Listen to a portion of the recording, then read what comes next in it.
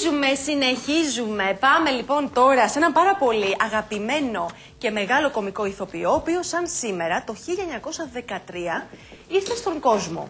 Και τελικά μας έδειξε πόσο μεγάλο ταλέντο είχε στην υποκριτική. Αναφέρομαι φυσικά στον ε, Λάμπρο Κωνσταντάρα, ε, ο ηθοποιός ο οποίος έχει ιδρύσει τη σχολή, ε, σχολή υποκριτικής, γιατί πάρα πολλοί ηθοποιοί είναι αυτοί που έχουν επηρεαστεί από τον τρόπο που έπαιζε στις ταινίες. Άνθρωποι οι οποίοι ήταν στο πλευρό του, τον αγάπησαν, τον λάτρεψαν, μιλούν για τον Λάμπρο Κωνσταντάρα, για αυτόν τον πολύ πολύ συμπαθητικό ηθοποιό και μας αποκαλύπτουν άγνωστες πτυχές της ζωής του. Να πάμε να τους ακούσουμε. Ε, ωραία, για πάμε. Λίζα! Ναι, πατέρα, εδώ! Καλώς, γρήγορα! Εμπρός! Εμπρός! Μου έδειξε τέτοια στοργή ο Λάμπρος, τέτοια αγάπη και τον ένιωσα σαν συγγενικό μου πρόσωπο, σαν πατέρα. Ε, Ως πατέρας το- τον έζησα πάρα πολύ λίγο. Με το αρχοντικό του παράστημα και το πηγαίο ταλέντο του, ο Λάμπρος Κωνσταντάρας δημιούργησε το προσωπικό του στίγμα. Εξωστρεφής γλετζές, αλλά και ένας άνθρωπος που αφιέρωσε τη ζωή του περισσότερο στην καριέρα του και λιγότερο στην οικογένειά του. Παράπονα για την πατρική αδιάφορη συμπεριφορά του μεγάλου μας κομικού δεν διστάζει να εκφράσει στην κάμερα της εκπομπής μας ο γιος του Δημήτρης. Τον έζησα πάρα πολύ λίγο και μου έλειψε τα, τα παιδικά μου, εφηβικά μου, μαθητικά μου χρόνια διότι δεν έμενε μαζί μας ε, και έπρεπε να πηγαίνω να τον επισκέπτομαι. Βεβαίως πήγαινε, τακτικότατο, δεν υπάρχει κανένα θέμα. Και έρχονταν και με έπαιρνε, αλλά άλλο πράγμα να τον ζεις μέσα στο σπίτι τον πατέρα και άλλο πράγμα εκτός. Θεωρώ τον εαυτό μου ότι είμαι πάρα πολύ τυχερή που τον συνάντησα στα πρώτα κιόλας μου βήματα. Και ύστερα ήρθε ο ελληνικός κινηματογράφος, η μια ταινία μετά την άλλη και ο Λάμπρος στο ρόλο του πατέρα μου. Και δεν ήταν μόνο στον κινηματογράφο, ήταν και στη ζωή. Η αξέχαστη εθνική μας σταρ μιλούσε πάντα με τα καλύτερα λόγια για τον Λάμπρο Κωνσταντάρα.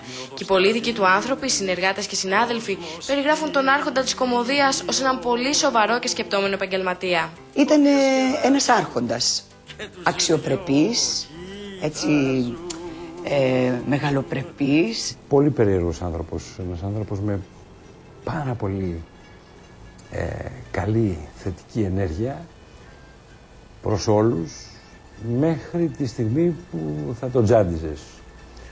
Και τότε θα φεύγανε τα γραφεία και οι καρέκλες και τα πάντα.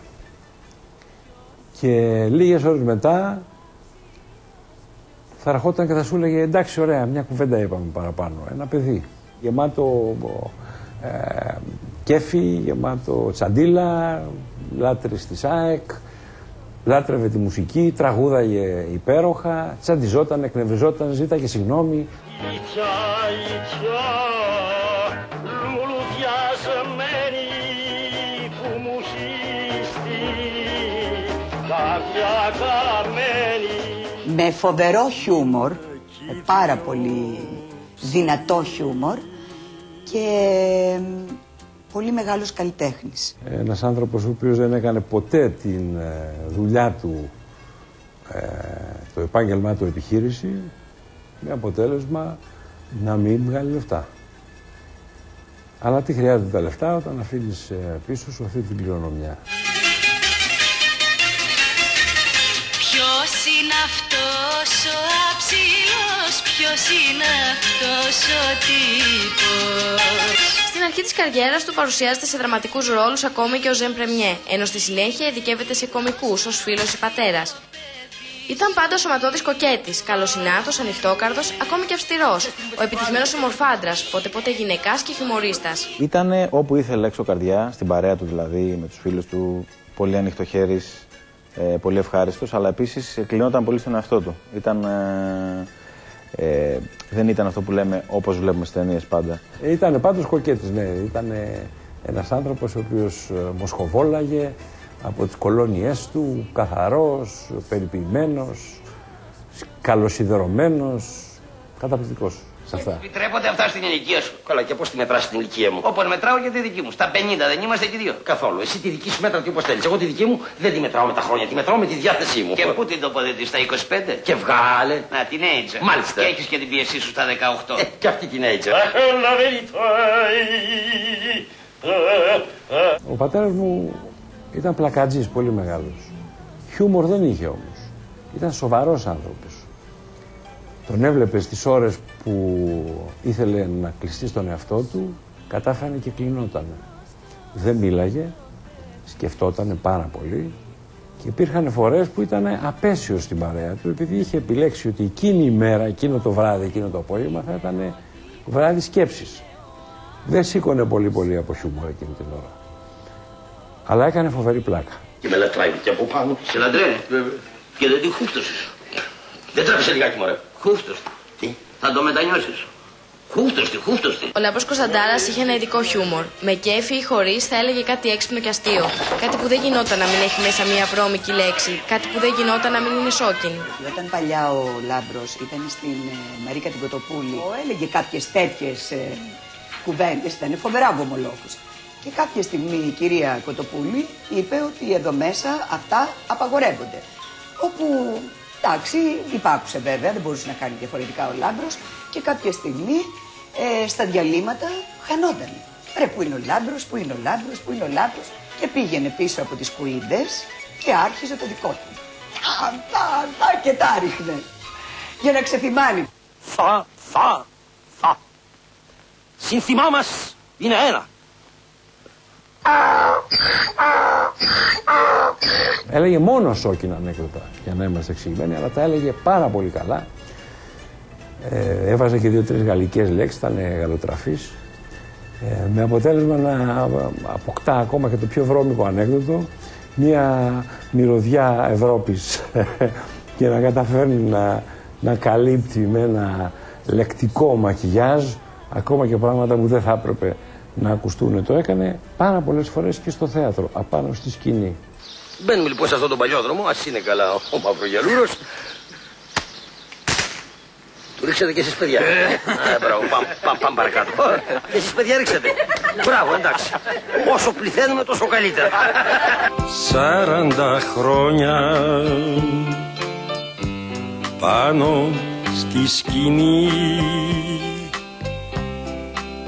Στις 28 Ιουνίου του 1985 το γαλάζιο βλέμμα του Λάμπρου Κωνσταντάρα έσβησε για πάντα. Ο άρχοντας της κομμωδίας χάθηκε σε ηλικία 72 ετών. Τις τελευταίες μέρες της ζωής του, μάλιστα, έζησε έγκλειστο στον ίδιο του τον εαυτό. Απομονωμένος σε ένα διαμέρισμα στη Βάρκιζα, με πείσμα είχε κόψει τον ομφάλιο λόρο με τον εξωκόσμο. Δεν άντεξε όμως βουβός και μόνος. Ήθελε να φύγει για να το θυμούνται όπως ήταν στη ζωή και στη σκηνή. Λαμπερό και φινετσάτο. Δεν ήταν πειθαρχημένος στον εαυτό του.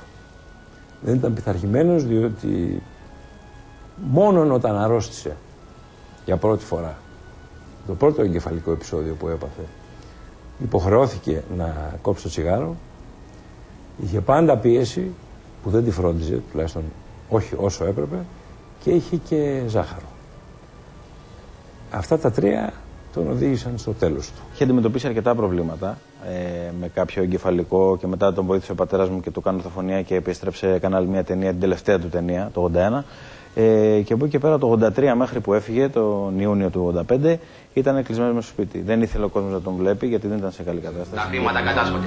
Τώρα βρε Χρυσόστομε, τώρα που έκανα καρέ του Άσου.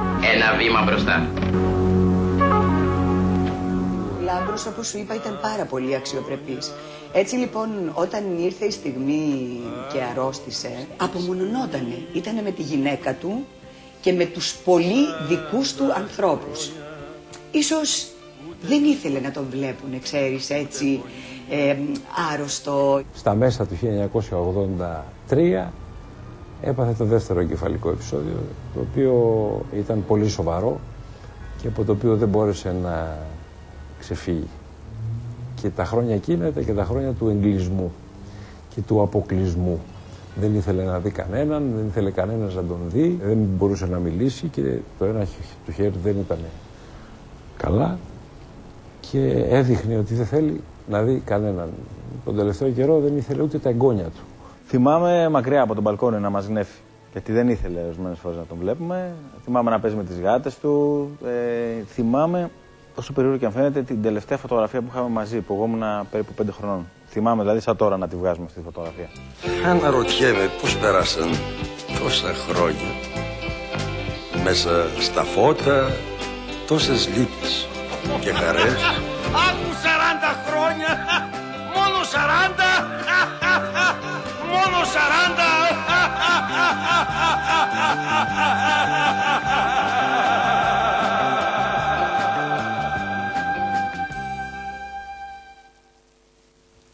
Πραγματικά ένας ε, ανεπανάληπτος Λάμπρος Κωνσταντάρας, ε, καλλιεργημένος, χαρισματικός και πάνω απ' όλα ταλαντούχος. Και νομίζω ότι μέσα από αυτούς τους ρόλους, δηλαδή βλέπαμε εκεί τη σκηνή με το Μαυρογιαλούρο, Mm. με τις μούτζες και νομίζω ότι τις βλέπουμε και τις ξαναβλέπουμε αυτές τις ταινίες και δεν βαριόμαστε. Ξέρουμε τους διαλόγους απ' έξω και καθόμαστε και τις παρακολουθούμε. Και νομίζω ότι όλοι οι νεότεροι ηθοποιοί διδάσκονται από αυτούς τους παλιούς, Αυτό ειδικά του βεβαίως. κομικού Πολύ. που νομίζω και θεωρώ ότι είναι πολύ πιο δύσκολο ενδεχομένως να είσαι ένας πάρα πολύ καλός κομικός από ένας ηθοποιός. Ε, Δημήτρη. Ναι, συμφωνώ. Μπράβο, Από τους πιο, εγώ αγα... δεν το ήθελα από τους να πιο το κάνεις αγαπημένους. αυτό. Γιατί; Τι έκανες; Εγώ. Και μάλιστα έχω ακούσει τον Δεν- δεν γιο σας του, τον κατανοώ. Δημήτρη Κωνσταντάρα, σε μια συνέντευξη που είχε δώσει, ότι ο αριθμός λέει 13 τον ακολουθούσε σε όλη του τη ζωή, γιατί Mm. γεννήθηκε 13 Μαρτίου του 1913 και έμενε στην οδό Πλουτάρχου 13. Και ήταν Ναι. πολύ φοβητσιάρισμα αυτό, δηλαδή το 13 δεν το είχε σαν καλό στη ζωή του, Είδες; όμως τον ε, Εμένα κυνηγούσε. μου αρέσει η φιγούρα του. Ναι. Και ήταν αυτό που λέμε. Άλλη Αρχοντάνθρωπος. σκοπής άντρας και άλλη σκοπής κωμικός, έτσι. Έτσι. Παλαιά σκοπής που δεν υπάρχει πια Εμένα σήμερα. ξέρεις τι Το μου είδος έκανε του, πιο δεν πολύ υπήρχε εντύπωση άλλος. από όλα. Ότι εντάξει, είναι γνωσμένης αξίας, είναι κλασικός ηθοποιός. Όντως, ευτυχώς που υπάρχουν οι ταινίες και μπορούμε και τον Και βλέπουμε μας και, τον έχει αφήσει ξαναβλέπουμε. χρυσή κληρονομιά. Και όσοι δεν τον έχουν δει, τον γνωρίζουν. Αλλά τα τελευταία χρόνια της ζωής του, το γεγονός που το είπε και είναι Ελικίνη και ο γιος του, ο Δημήτρης Κωνσταντάρας, ότι που επιδίωξε να απομονωθεί από τους Ακόμα και από τους συγγενείς του. από τους τους δικούς υπολείπους. ανθρώπους. Αυτή η αξιοπρέπεια λοιπόν Δεν ήθελα ήταν να κάτι τον που το βλέπουν χαρακτήριζε στη αλλιώς. διάρκεια της ζωής του. Μου είχε κάνει, Μάλιστα, μου έκανε πολύ έτσι. εντύπωση. Ήθελα να το θυμούνται θαλερό και όμορφο. Σαν σήμερα, σαν σήμερα γεννήθηκε και έτσι θέλαμε να ετοιμάσουμε ένα βίντεο, ένα αφιερωματικό βίντεο σε αυτόν τον ε, μεγάλο, τον σπουδαίο ηθοποιό μας.